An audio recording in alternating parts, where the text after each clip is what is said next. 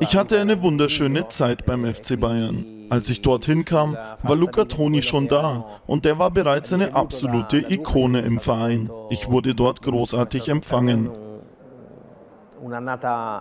Für mich persönlich war es schon eine tolle Saison, obwohl ich natürlich weiß, dass ich als einziger Italiener keinen Titel mit den Bayern gewinnen konnte.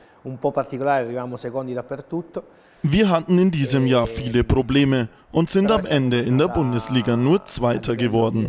Dennoch war es für mich eine tolle Spielzeit. Ich habe in einem fantastischen Umfeld gelebt und bei einem der besten Clubs der Welt gespielt. Ich konnte eine neue Kultur kennenlernen und das Leben in einer wunderschönen Stadt genießen. E impari a conoscere anche una cultura diversa in una città molto bella.